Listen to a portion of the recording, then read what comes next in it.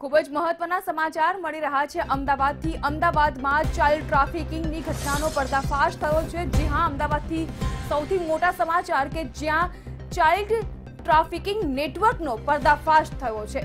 અમદાવાદથી મોટા સમાચાર મળી રહ્યા છે.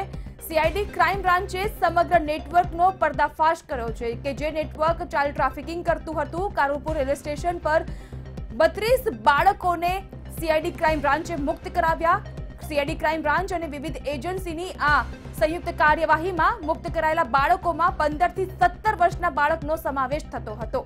એટલે કે સીઆઈડી ક્રાઇમ બ્રાન્ચે ચાઇલ્ડ ટ્રાફિકિંગ નેટવર્કનો પર્દાફાશ કર્યો અને બાળકોને મુક્ત કરાવ્યા. વધુ જાણકારી આપી રહ્યા છે અમારા સંવાદદાતા રવિ ભાવસાર. રવિ, આ સમગ્ર ઘટનાનો પર્દાફાશ કઈ રીતે થયો?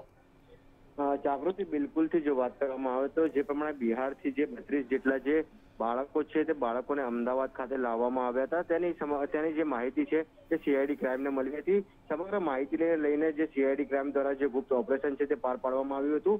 બત્રીસ જેટલા જે બાળકો છે તે બાળકોને હાલ અ, અઝીમાબાદ જે ટ્રેન છે એક્સપ્રેસ છે તે અમદાવાદ ખાતે ઊભી રહી હતી અને ત્યાંથી અમદાવાદ રેલવે સ્ટેશનથી જે બાળકો છે તે બાળકોને મુક્ત કરાવવામાં આવ્યા હતા. અત્યારે તો હાલ જે જે ચાઇલ્ડ ટ્રાફિકિંગનો જે મામલો છે તે સમગ્ર મામલે હાલ સીઆઈડી ક્રાઇમ તપાસ કરી રહી છે અને આ સમગ્ર કેસમાં બીજા કોણ કોણ અંદર સંડોવાયેલા છે તેની પણ તપાસ હાલ સીઆઈડી ક્રાઇમ કરી રહી છે. પરંતુ જે પ્રમાણે જે બાળ મજૂરોને જે અમદાવાદ ખાતે લાવવાની જે સમગ્ર ઘટના સામે આવી છે તેને લઈને પણ એક તપાસનો વિષય છે. જી જી રવિ, સમગ્ર માહિતી બદલ આપનો આભાર. તો સીઆઈડી ક્રાઇમ બ્રાન્ચ અને વિવિધ એજન્સીની સંયુક્ત કાર્યવાહીમાં ચાઇલ્ડ ટ્રાફિકિંગ નેટવર્કનો પર્દાફાશ અને કારુપુર રેલવે સ્ટેશન ખાતેથી બત્રીસ બાળકોને મુક્ત કરાવાયા.